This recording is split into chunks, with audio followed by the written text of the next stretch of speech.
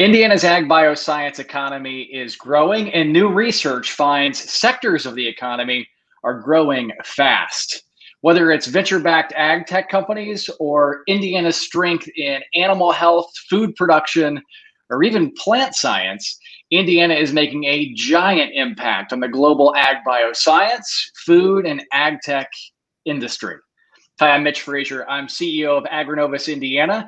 And really delighted today to be joined by two incredible minds in economic research and analysis from TEConomy Partners, Simon Tripp and Deborah Cummings. Welcome to you both.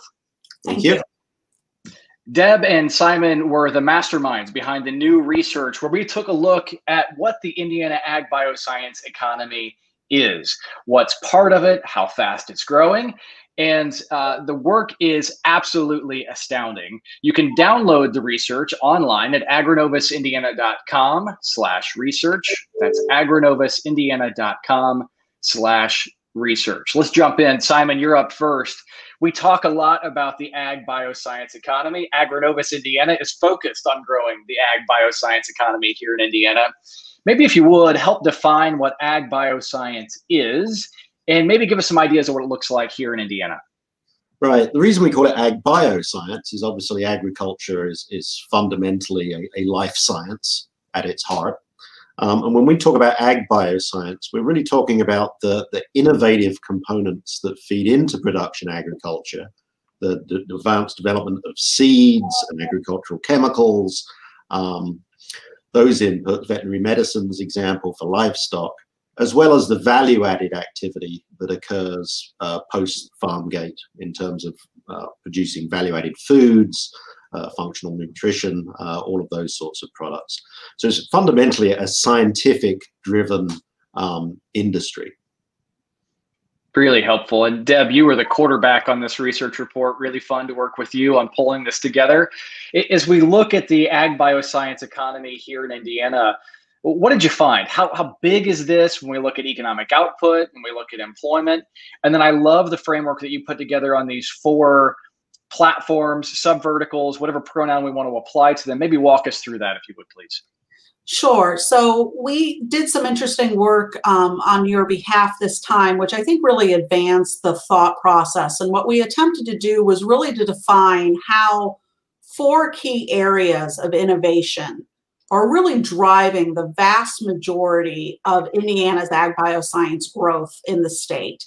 And so the, the four innovation platforms, if you will, that's what we call them, that we're looking at is really how innovation in value added food and nutrition is driving economic growth, how innovation in plant science and crop protection research and, and new models of development are driving growth, how innovation in agricultural equipment and technologies and systems and kind of all this you know fascinating world of ag tech and drone technology and you know all these things that we hear about on the modern farm is mm-hmm. driving mm-hmm. innovation in Indiana and then certainly how animal health and nutrition with all the livestock and poultry production in the state is driving growth and and all four of these areas obviously at the end of the day are helping to drive economic prosperity within agricultural production and distribution fields. And so that's kind of the fifth area that we examine.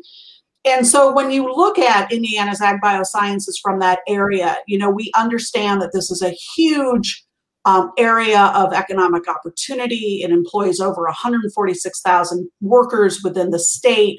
It grew by over 5% since 2012. And I think maybe even while employment is critical at the end of the day, it only really tells one side of the story. And so when you think about overall output of these ag bioscience sectors, um, you know, grew just incredibly and, the impact and contribution is so significant. So, you know, $76 billion in impact the ag bioscience sector uh, provides for the state of Indiana. You know, that that's uh, 27 and a half billion in state gross domestic product. So just incredibly important to the industry uh, and to the state and, and some significant growth in particular areas of the economy. Really powerful. Deb, I love the the structure that you put together when we talk about the overall ag bioscience economy north of 50 billion dollars directly your your indirect and induced number the, the north of 70 billion it's a really powerful powerful parallel i think the one thing that struck me as I, I went through the data with you and with simon with the team was as we some comparative analysis, right? Big numbers are big and it's hard to really have context for them. When we look at production agriculture, maybe walk us through the comparative there. Production agriculture being a part of the 50, 52 billion, if memory serves correctly. Uh, what does that look like maybe compared to some of the other subverticals? Sure, and I apologize. I'm trying to find some some data uh, tables real quick. Um, so yeah, when we look at the total output of 52 billion, um, sorry, 52 billion um, it, across the state in output. So this is the production, uh, you know, sales, if you want to kind of think of that. Um, 13 million of that is in agricultural production, so critically important to the state. But when you're looking at the other innovation platforms, you know, 29 million is related to I'm sorry, Simon? Oh, Deb, it is billion. Yes, sorry. 29 billion is related to value added food and nutrition. So that is actually the largest of the four innovation platforms and even outperforms agricultural production and distribution. I shouldn't say outperforms, is even larger, is another right. way of thinking of it. Um, but the other platforms are also critical. You know, animal health and nutrition is a 4 billion uh, output to the state uh, just over 4, 4.3, followed very closely behind in plant science and crop protection, which uh, is 4 billion, and then agricultural equipment and technology systems at nearly 2 billion. So all critically important to the state's uh, growth. It is a staggering stat, Simon, as we look at 13 billion in production agriculture and comparing it to some of these other verticals I'd love to dig it before we dig into these individual verticals, these individual innovation platforms that we call them. Is you also led the research? You both led the research back in 2014. That was really the cornerstone of AgriNovus's creation. And in mm-hmm. this report, you do a brilliant job of going back and saying, let's look at 2012 data, let's look at 2015 data, and let's look at 2018 data. 2018 being the most recent available maybe if you would just give some insight, some context, some things that you saw as you look at this growth from 2012 to 2018, the six year period. How did the sector grow, and were there any surprises in these innovation platforms as we look at growth? Yes, overall the growth was six percent as we define, you know, ag biosciences writ large, including production agriculture. Um, but actual production agriculture was the slowest growing of the areas. The actual ag biosciences technology sectors that we've been looking at, value added food and nutrition, plant sciences and crop protection, ag equipment, uh, and animal health and nutrition, those have grown much faster. Um, anywhere from a from 8.6% in the animal health and nutrition space up to uh, 13% in value-added food and nutrition. Right. Um, the one outlier has been the, the plant sciences and crop protection space, but it, it, that's a, a, different industry to the others in that it tends to be dominated by very large multinational companies. Um, and there's been a lot of mergers and acquisitions activities occurred. Right. You know, Corteva has has it now has you know grown out of Dow AgroSciences, and there have been consolidations. So actually, employment and output declined somewhat in Indiana um, in that one cluster, but we expect that to reverse moving forward and then continue to grow. We're talking with Simon Tripp and Deborah Cummings from TEConomy Partners, digging into new research on the Indiana ag bioscience economy. You can download the research online at agrinovusindiana.com slash research. That's agrinovusindiana.com slash research. Deb, I, I want to go to you as we look at all the pieces of this puzzle. I think the big surprise to me, as a guy who's been in ag here for a while in Indiana, a guy who grew up in Indiana, was value added food and nutrition uh, becoming uh, a, a, really the longest tent pole, if you will, in the overall ag bioscience economy, more than 2x production agriculture. If you could maybe give us some ideas, some insight into what is in the food innovation platform here in Indiana, maybe some of the companies that are there, and just help us understand size and employment, if you would, please. Certainly. So I think that um, when we think about our own grocery stores and what we eat every day, you know, I don't think we always think about the advancements that's occurring in um, the value added food and nutrition space. And so everything from aseptic packaging. And what I mean by that is think about the difference in the grocery store, what used to be in the perimeter of the grocery store. So fresh meat, fresh fruits, fresh vegetables, fresh dairy. We're now through advancements in innovation really being able to make them shelf stable, be able to make uh, longer life and bring them to the middle, the rows, if you will, of the grocery store. And that has incredible opportunity um, for growth both around the world, because obviously to be able to grow and produce and then ship these goods, we have to be able to have much more shelf stable. But it also has incredible opportunities just as our changes and, and what we choose to consume. So it gives us healthier foods that are longer uh, lasting and opportunities. Um, so I think when we think about that, the other area that there's been huge growth in is the opportunity around the nutrition within the foods. And so much of, as we think back to to healthy foods or diet foods of the 70s and 80s you know they weren't good tasting. They they had other uh, potential impacts on our digestion system and you know we all remember the stories. And so flavors and uh, how things are, are, textile you know how we how we feel in our mouth and all of those mm-hmm. things. And so all of the research and innovation that's going in in that space in terms of just what it tastes like how it feels in our mouth what it smells like and then that doesn't even get into really a huge area of growth um, that's occurring around plant-based proteins and what that's going to mean for not only our future here in the United States, but again, as we look at more economies around the world demanding more protein-based food, we only have so much land, we only have so many resources, and how do we meet that demand? And there's a lot of innovation uh, being driven there. And so as we look at companies in Indiana, they're, they're everything from you know companies that you've known for a long time that are that are producing foods that are on your grocery store shelves um, but but through to really interesting areas of innovation. Mm-hmm. yeah. Yeah i mean this value added food and nutrition space really jumped out to us in the report. Um, when we looked at that platform back in 2015 in our original study um, in the previous five years leading up to 2015 there were no startup ventures in that space that received angel funding or venture capital funding. Um, you know, it was a very, it was a certain lack of dynamism uh, in that industry.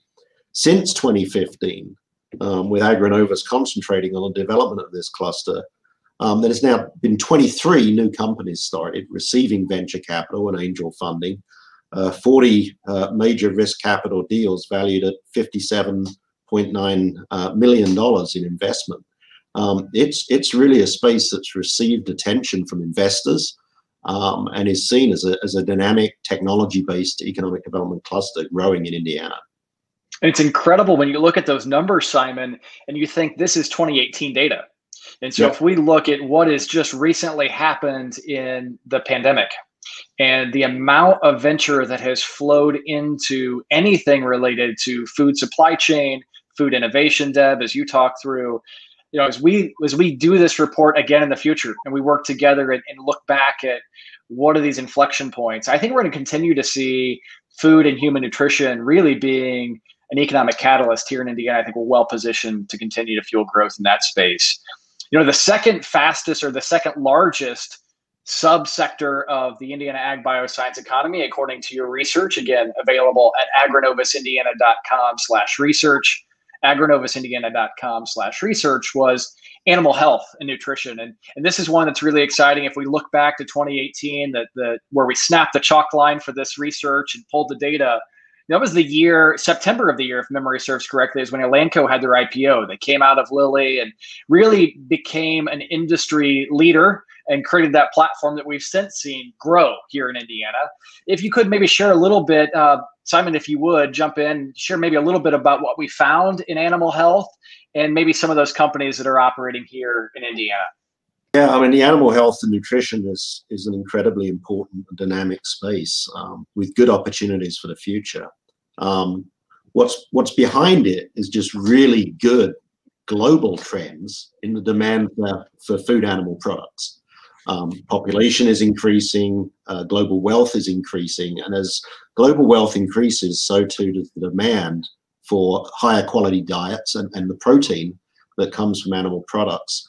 So Indiana having strength in that sector bodes very well for the future. Um, as you mentioned, you know, Elanco is certainly one of the global leaders in that space. Um, but it's also a space where we've seen uh, new venture formation uh, occurring. Um, we highlight four companies in the report uh, that have received significant venture funding um, from 2015 through to through to 2020. Um, it's a diverse space um, with uh, you know a, a, range of, of different companies, uh, some of which are now starting to cluster around Purdue. Um, but there's you know there's interesting research occurring inside of of companies that you might not think of sort of being in animal health and nutrition. Um, companies like Maple Leaf Farms uh, up in northeast Indiana, um, you know, who who doing advanced work in duck production, um, a, a, product that Indiana is leading in. So it, it's an interesting space that has lots of opportunities for the future it is interesting when we look at this this construct that we just talked through where we talk about food and we talk about animal health. And there is this collision. Simon you talk about this often and i appreciate it. We even talk about it a bit in the re- research is this collision of life science. When we start thinking about where are the connection points why is indiana uniquely competitive? How, why does indiana have unique competitive advantage? It is our strength in human health. It is our strength with the nation's largest medical school and Eli Lilly and Roche and all of these traditional life science companies who have built talent ecosystems that now are seeing affect in a very positive way what's happening right here in the ag bioscience. Really fun work. And I, I think that the next logical step is is to hit the next largest sub vertical or innovation platform called Plant Science and Crop Protection. And Deb, would love for you to walk through. You mentioned this early on. You know, this has been an area that has has faced some challenge when it comes to consolidation, but still holds tremendous, tremendous opportunity as we think about what's ahead in this space. So, Mitch, I hate to do this, but I'm going to throw that question to Simon. Perfect. The final platform because I'm excited about some work that's going on in Purdue, and and, and Simon has been tracking more of some of the, the global trends in, in crop Love it. science. Yeah, I mean, this is um, Purdue's good in in all of the platforms, but the investments that we've seen made in Purdue over the last five years in advanced plant sciences and crop protection, I mean, it really parallels the expertise that there is in the state in industry. Um, you've now got you know two major phenotyping facilities that give Purdue University really advanced capabilities in advancing in plant sciences. Um, field phenotyping, um, so not just controlled environment phenotyping that they're doing. They've hired new faculty in this space. They formed the Plant Sciences Institute. Um, and as we talk about when we get to the digital ag side of things, they're instrumenting fields uh, to be able to, to really see what works in, in the production environment. And, and Corteva is working closely with them and other companies like Beck's Hybrids, who are, who are a privately owned, very large seed company in Indiana. It's, it's, a, it's a very exciting space. And I, and I think it's an area where academe and industry have come together to really leverage the advantages that you have in Indiana. It is an exciting space. And we look at the future of plant science, of, of crop protection, just last year, AgFunder reported that 1.1 billion in venture mm-hmm. flowed into the ag biological space. And so as I as I look at this and you sort of zoom out, you talked about Purdue, Purdue being the number one school in the country when it comes to ag biological engineering. Really exciting to see the the strength that is resident here here in Indiana. It's also one of the clusters where you know there's not a lot of competition. When you look at other regions of the world and, and of the United States, it's an industry that's consolidated in just a few places. Um, in yeah. the US, it's it's Research Triangle Park in North Carolina. It's um, St. Louis, you know, with the obviously the, the Bayer Monsanto, and and it's Indiana uh, with Corteva. That those are the real hubs for the plant sciences industry um, in the United States, and you're very well positioned. Absolutely. And Deb, now we get to the final. We get to the final innovation platform. This is ag equipment systems and technology. I affectionately refer to it as ag tech. And as a guy who used to be in tech and a guy who used to run a John Deere dealer, I love uh, it's like children, right? I love them all. Um, this is this is one that takes particularly special meaning to me. So walk us through what what is in the ag tech innovation platform and give us some idea what's there. Sure. And so if you haven't quite caught on to our theme, we also we're going to say, and this is one of the most exciting the most exciting um, because it really is. And, and I think that for all of us, as we think about farming of of even 10 15 years ago and what we are now doing today and and the implementation of really this convergence of technologies in the agricultural space whether it's equipment whether it's the digital technologies whether it's the automation and robotics and then all of the advanced analytics. This is really the space where computer science computer engineering and agriculture meet. And and to me what's so exciting about what's happening in indiana is this is where a huge amount of the startup companies are coming yes. from and the early stage investments are going. And i think that a lot of the large oems are looking at this activity and are excited to see what indiana is doing and what the future of, of agricultural production will be. And again we we talked about purdue's strengths in plant science and crop protection and it's huge but Purdue's strengths also in this ag tech space is going is, is only growing and, and with a real concerted effort.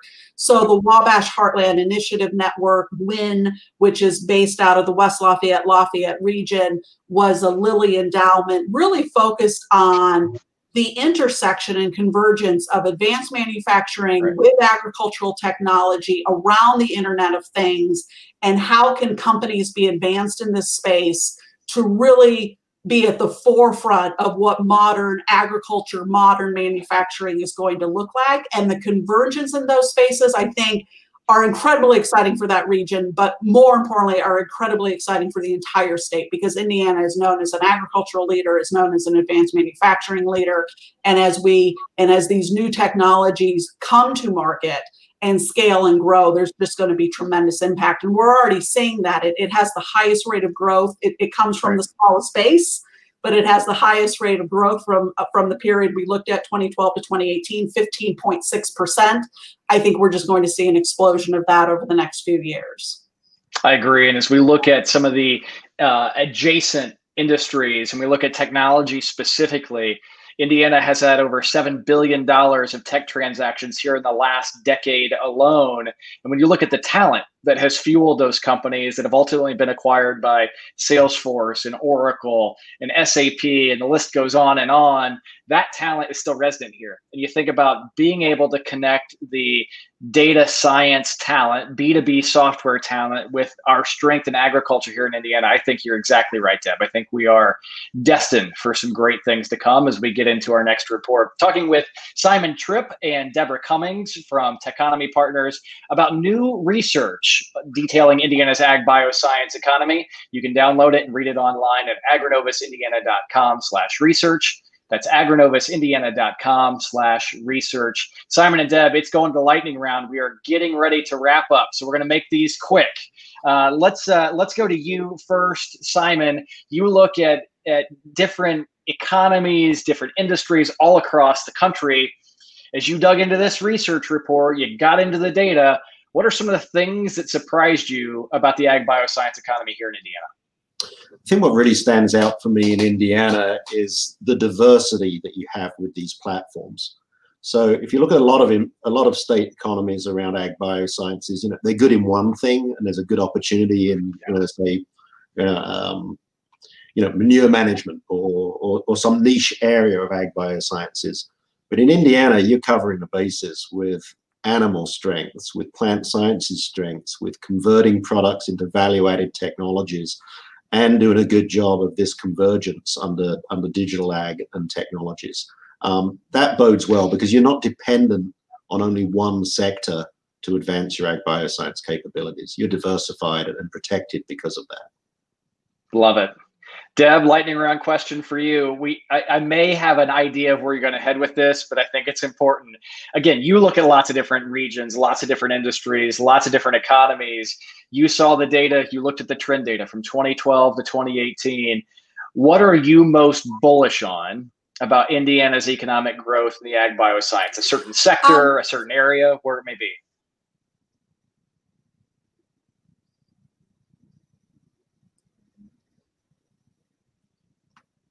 You seem to have frozen, Deb. I can't hear you.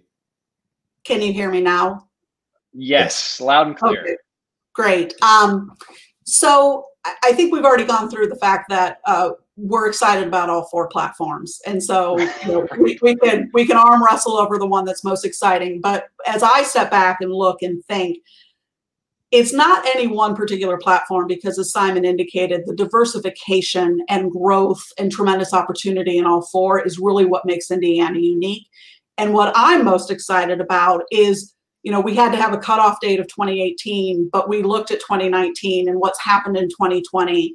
And when you look at the level of risk capital investment, when you look at the number of companies who have announced expansions in the state, when you look at the number of companies who's chosen to put, whether it's their North American headquarters or significant uh, expansion from other states, we're not seeing that in a lot of other areas, particularly within the Midwest. And so I think that this just really says that Indiana, through its efforts through AgriNovus and through the regional partnerships, you know, is really putting a, a stake in the sand and and really is announcing itself to the world and is being noticed by the world. And I think that's really very exciting.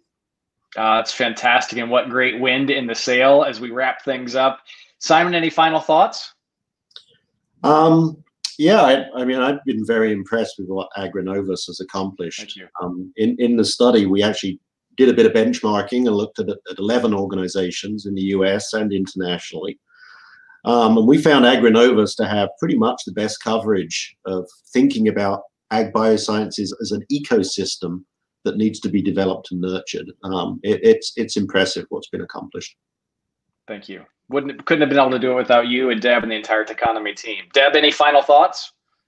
No, we're just excited to continue to watch the progress of the ag biosciences in Indiana and uh, have the opportunity to to reflect in a few years uh, all the additional progress that's been made. Terrific. Simon Tripp, Deborah Cummings from TEConomy Partners, thank you so much for the incredible work that you've done all of the effort that you've poured into making this research not just insightful but actionable. Huge thank you to our AgriNovus Indiana team. Simon, great great insight. Thank you. And credit goes to the entire AgriNovus team for this research and all the work that's happened here in Indiana. And special thank you to our partners, our partners in government, our partners in business, our partners in academia, and our partners in venture capital who are making the ag biosciences in Indiana a key and critical part of the Indiana ag bioscience economy and the broader economy here in Indiana. If you'd like to stay in touch with us, like to hear new news coming out, feel free to follow us online via social media, and you can always find us on YouTube as well. Again, Simon Tripp, Deborah Cummings from TEConomy Partners, thank you so much for the work. Again, don't forget to log on, find our research, take a listen, or take a listen or read at agrinovusindiana.com slash research. That's agrinovusindiana.com slash research. On behalf of the entire AgriNovus Indiana team, thank you for watching. Thank you for listening, and I look forward to seeing you soon.